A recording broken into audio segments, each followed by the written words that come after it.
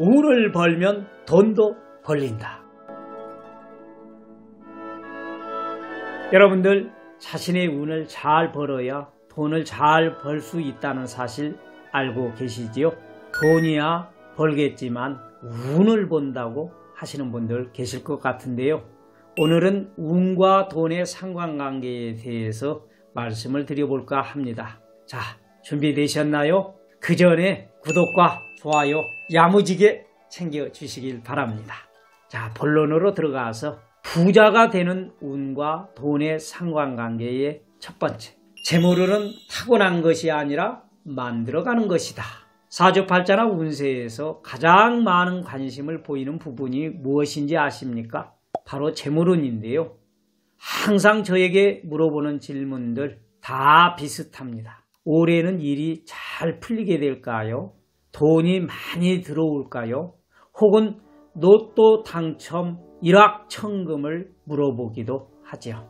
이렇게 사주의 재물운이 있나 없나를 물어보시는 분들이 아주 많은데요. 그런데 말입니다. 여기에서 많은 분들이 오해를 하고 있는 부분이 있습니다. 재물운은 타고나는 거야 라고 생각하시는 분들이 많은데 재물운은 운명적으로 주어지는 것이 아닙니다.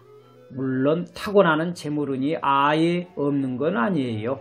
금수저를 입에 물고 태어나듯 좋은 사주팔자나 운세를 가지고 태어나는 사람들도 분명히 있습니다. 그런데 그런 사람들은 소수에 불과하지요. 그렇다면 대부분 재물운은 어떻게 들어올까요? 바로 자신의 노력의 여하에 따라서 들어오고 내가 만들어가는 노력의 크기만큼 재물의 크기가 달라진다는 것입니다.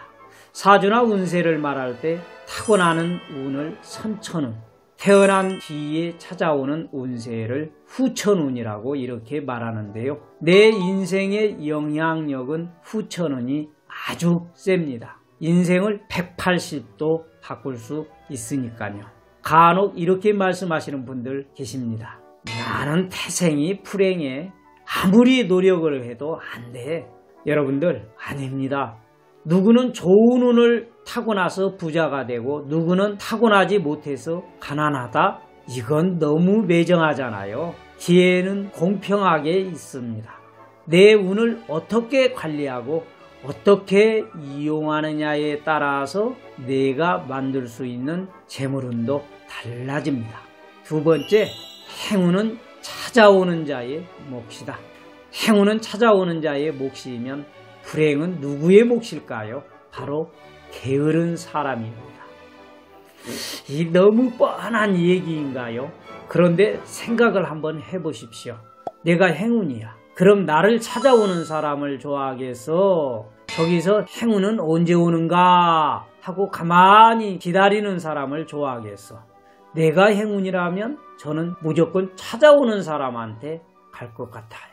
우연히 다가오는 행운은 없습니다. 가만히 있으면 아무 일도 일어나지 않는다 이 말입니다. 부지런한 사람은 점점 재물과 가까워지지만 게으른 사람은 점점 가난과 가까워집니다.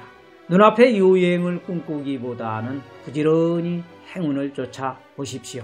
우리가 쫓는 것은 비단 재물뿐만이 아닙니다. 자기관리, 건강, 친구, 가족이 될 수 있어요.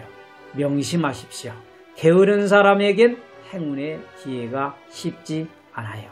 행운은 개척하는 사람의 몫입니다. 세 번째, 운을 벌면 돈도 벌린다.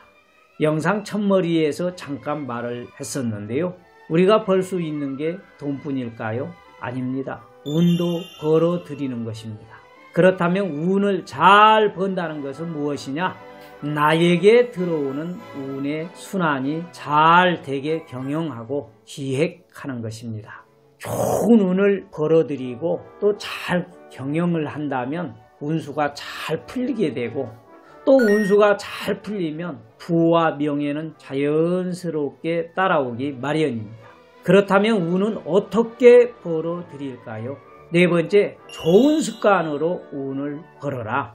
긍정적인 사고, 꾸준한 행복, 꾸준한 운동, 행복한 미소, 원만한 대인관계 등의 좋은 습관은 무릎을 꿇은 운도 일으켜 세웁니다.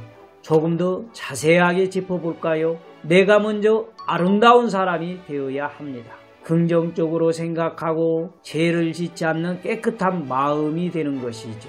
그리고 많은 사람들에게 덕을 베풀고 부지런한 삶을 살아가는 것입니다.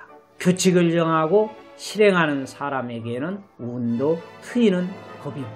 작은 운을 모아보십시오. 운은 분명히 누적이 됩니다. 열심히 운을 모으다 보면 어느 순간에 거대한 운으로 터지기 마련입니다. 지금부터라도 늦지 않았어요. 나에게 들어오는 운들을 차곡차곡 모아보시길 바랍니다. 또 이거 잊지 마세요. smile, smile. 항상 웃으며 살아보십시오. 웃는 자에게 뭐가 온다고 하죠? 복이 온다고 말하지요. 운을 만들어 내는 그릇은 바로 우리의 마음이라는 것 잊지 마시고 언제나 긍정적으로 운을 끌어들이는 사람이 되셨으면 좋겠습니다. 다섯 번째, 팔자 타령은 귀신이 좋아한다. 여러분들 귀신이 좋아하는 일 하고 싶습니까? 선천운인 팔자 타령은 귀신이 좋아하고 후천운인 노력은 재물이 좋아한다는 말이 있습니다. 여러분들도 이런 말 많이들 들어보셨을 텐데요. 아이고 이놈은 내 팔자야. 내 팔자가 뭐 그렇지 뭐. 보통 일이 잘 안 풀린다든가 예기치 못한 사고를 맞게 되면 이런 말들 많이 하지요. 그런데 앉아서 팔자 타령만 하고 있으면 어떻게 될까요? 부정적인 상황에서 아무것도 해결되지 않습니다. 우리는 이런 팔자 타령에서 과감히 벗어나야 할 필요가 있습니다. 노력으로 팔자를 고쳐보는 거지요. 팔자에서 벗어나 후천운을 만드는 것에서부터 개운과 인생 역전이 시작이 됩니다. 결국 앞에서 이야기한 네 가지와 일맥상통하는 내용인데요. 운과 사주는 타고나는 것처럼 보이지만 결국 내가 만들어가는 것입니다. 운은 내가 만드는 그릇에 담겨요. 깨끗하고 넓은 그릇에 운이 담기면 재물은 덤으로 따라옵니다. 여러분들 명심하십시오. 후천운인 노력은 재물이 좋아한다는 것을요. 자, 오늘 영상에서는 운과 재물운의 상관관계에 대해서 이야기를 해봤는데요. 결론적으로 한 문장으로 정리를 하자면 이겁니다. 운을 챙겨야 재물도 챙긴다. 제가 말씀드린 운을 쟁취하는 법, 운을 걸어들이는 법 꼭 기억하시고 재물도 야무지게 챙기는 여러분들이 되시길 바랍니다. 다음 영상에도 알찬 내용을 가지고 찾아오겠습니다. 아직 구독, 좋아요 안 누르신 분들은 꼭 눌러주시고요. 그럼 모두 부자 되세요. 여러분들 감사합니다.